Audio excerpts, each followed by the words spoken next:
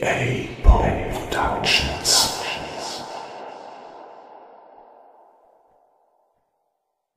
EA Poe Productions liest Sagen der Gebrüder Grimm. Heute der hart geschmiedete Landgraf. Zu Rula im Thüringer Wald liegt eine uralte Schmiede, und sprichwörtlich pflegte man von langen Zeiten her einen strengen, unbiegsamen Mann zu bezeichnen.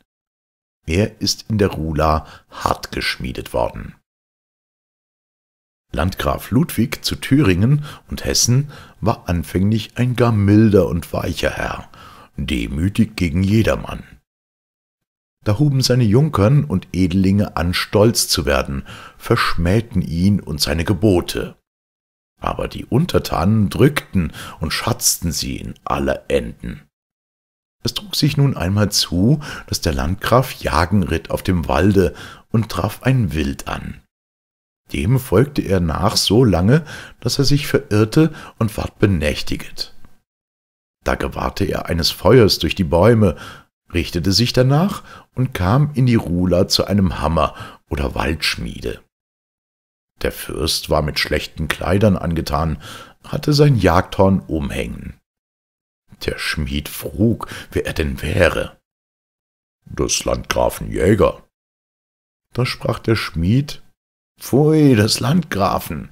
Wer ihn nennet, sollte allemal das Maul wischen, des barmherzigen Herrn. Ludwig schwieg, und der Schmied sagte zuletzt, Herbergen will ich dich häuten. In der Schuppen, da findest du Heu, magst dich mit deinem Pferde behelfen, aber um deines Herrn willen will ich dich nicht beherbergen. Der Landgraf ging beiseit, konnte nicht schlafen. Die ganze Nacht aber arbeitete der Schmied, und wenn er so mit dem großen Hammer das Eisen zusammenschlug, sprach er bei jedem Schlag Landgraf, werde hart, Landgraf, werde hart wie dies Eisen, und schalt ihn und sprach weiter, Du böser, unseliger Herr, was taugst du den armen Leuten zu leben? Siehst du nicht, wie deine Räte das Volk plagen und mehren dir im Munde? Und erzählte also die liebe lange Nacht, was die Beamten für Untugend mit den armen Untertanen übeten.